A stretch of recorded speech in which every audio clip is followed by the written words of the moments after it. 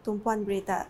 Premier Sarawak Datuk Petinggi Tan Sri Dr. Abang Abdul Rahman Zuhari Tun Datuk Abang Openg mencipta sejarah tersendiri apabila menerima anugerah khas iaitu Witsa Eminent Person Award pada Khamis.